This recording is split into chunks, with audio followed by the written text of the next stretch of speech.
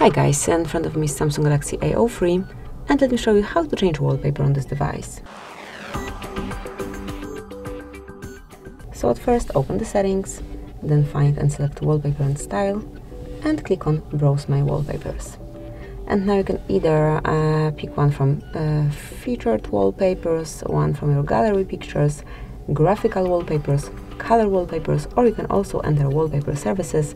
And here pick some category then choose the picture that you want to cover your screen with. Let me pick for example um,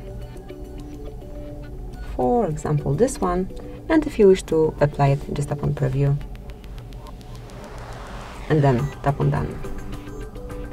So that's it. That will be all. Uh, here you can uh, change the color palette if you wish. Tap on apply once changed and that's it, as you can see this brand new wallpaper is covering both your home and lock screens. Thank you for watching, please subscribe our channel and leave a thumbs up.